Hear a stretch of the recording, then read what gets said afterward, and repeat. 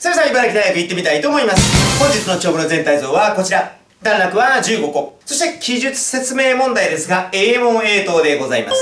つまり、英語で質問されて、英語で回答する。それが5問練習できますので、頑張っていきましょうサムさん第一段落からの部分でございます。一読お願いします。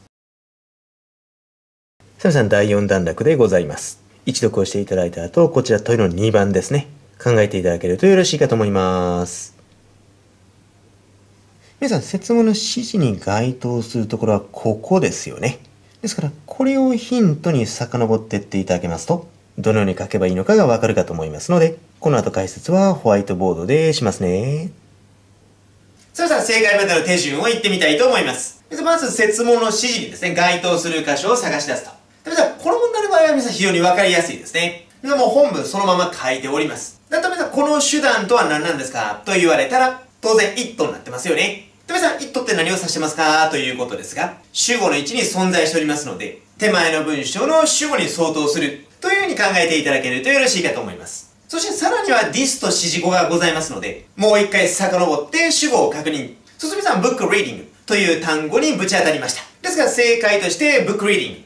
こういうふうに書いていただいて、じゃあ、あとは説問の指示に is という表現ございますので、book reading is という感じで一文で締めていただけるとよろしいかと思います。ですから、この後も続いていきますが、説問の指示をうまく利用するとですね、どういう風に書けばいいのか迷わずに進みますので、こういうような練習をしていきましょう。ということで、ひとまず参考なさっていただけるとよろしいかと思います。サムさん続いての段落でございます。一読お願いします。サムさん第7段落でございます。こちらとの4番考えていただけるとよろしいかと思います。でこちら説問の指示に該当するところはこれですよね。ですから正解はこの辺りから見つかりそうですね。この後はホワイトボードで解説します。それじゃ行ってみたいと思います。皆さん、説問の指示にタリバンと書いてますので、そのタリバンが書かれたところを本文中から見つけ出せば OK ですね。でもちろんこの辺りでよろしいかと思いますが、言い方を変えると、この辺りをほぼ全て拝借していただけると正解が導き出せそうですね。ですから皆さん回答はこの四角括弧でくくったところ、そしてこの三角括弧でくくったところですね。これをそのまま正解のところに下ろしていただけるとよろしいかと思います。ただ皆さん、説問の指示に影響はどうだったんですか？と言っておりますので、言いたいのはタリバンの支配によってですね、二つの出版社しか生き残ることができませんでした。ですから関係を確認すると原因と結果の因果関係ですよね。ですから、例えば文頭にこういう表現を表記してみました。ですから皆さん、正解の中心はですね、ほとんど本文中の表現を拝借することで出来上がりますので、まあ自分の言葉を少し付け加えるとしても、これぐらいで押さえた方がいいかと思います。まあもちろんその理由はですね、皆さん自分で考えた表現あんまり使いすぎるとですね、まあケアレスミスが多くなってしまってですね、まあボロが出ちゃうと。まあヒートは限定されてしまいますので、なるべく本部の表現を活用した方が安全でございます。ということですので正解はこちら。参考なさっていただけるとよろしいかと思います。さあ皆さん続いての段落でございます。皆さん一つ注釈ついてますからね。説問はこちらでございますので考えていただけるとよろしいかと思います。皆さん説問の指示に該当するところはこれですよね。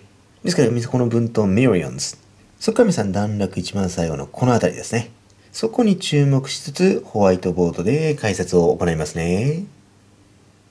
さあ行ってみたいと思います。皆さん、設問の指示に New Textbooks。これがございますので、本文に記載されているところにつなげていただけるとよろしいかと思います。ですから、あとは読んでいただけるとですね、何百万もの新しいテキストブック、その教科書が印刷されました。まあ最初はパキスタンで。なんですが、パキスタンとの関係ですね。それが unfriendly、非友好的になってしまった。あーって感じですよね。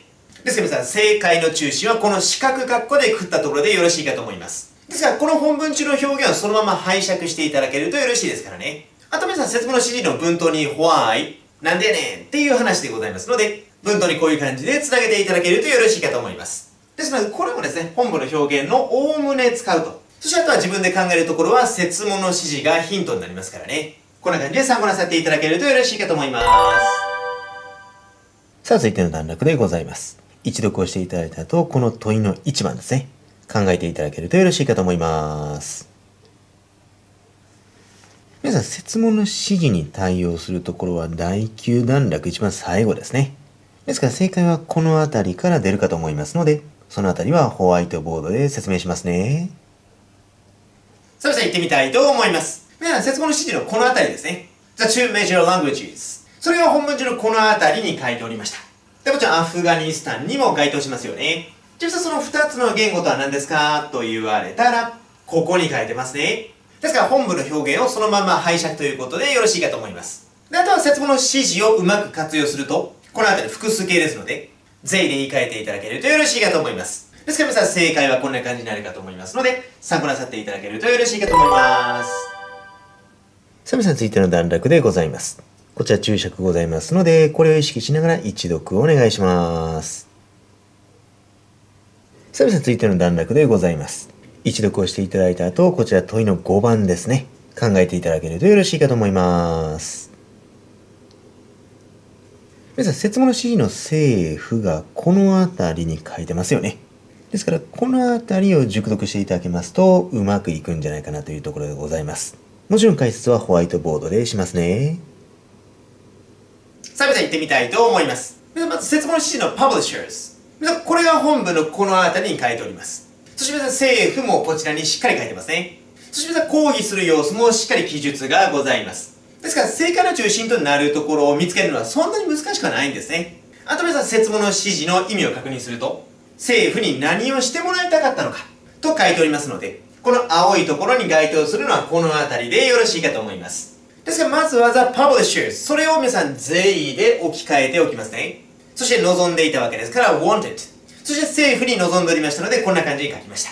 そしてこの後は青い波線のところを書き足せばいいんですが、皆さん want の語法上 want 目的を to 不定詞ですね。ですから皆さん表記するときもそこに意識を持っていっていただけるとよろしいかと思います。ですから最後はこういう感じになるかと思います。ですから、とにかく本文と説問の指示がヒントをくれますからね。それに忠実に記載していただけるとよろしいかと思います。ということで、正解参考なさっていただけるとよろしいかと思います。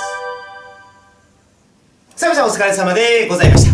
皆さん A 問 A と見ていただきましたが、皆さん想像以上に難しいわけではないですからね。ですから改めて手順を確認してみたいと思います。まずは括弧1、説問の指示に対応する箇所を、まずは本文から見つけ出していただいたかと思います。でこれは落ち着いて探せば必ず発見できますからね。そして括弧に、本文の表現をほぼそのまま拝借していただけると、回答の腰、つまり核となる部分ですね。それが出来上がったも同然でございます。ですから、特に指示がない限り、そのまま拝借した方が安全です。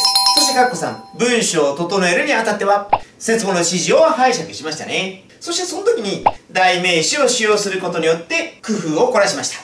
そして、これで出来上がりですよね。ですから意外とあっという間でございます。そして、カッコ4。自分なりの表現は、なるべく避けた方が無難でございます。とにかく、ボロが出る可能性がありますからね。つまり余計なところで失点しまう可能性がありますので、回避はできるだけしたいものです。そして、カッコ5。皆さん、英語 A との練習はどうしたらいいんですか？まあもちろん皆さんの志望校の過去問をやるのも一つの手ですが、ではこのヤダチとスタディの動画、その再生リストの中に、A も A と集めたものを配信してますからね。そしてやり方は確立しておりますので、練習に持ってこいだと思います。ですからひとまずこんな感じでちょっとまとめておきましたので、スクリーンショットする方はどうぞ。ということで、参考になさってください。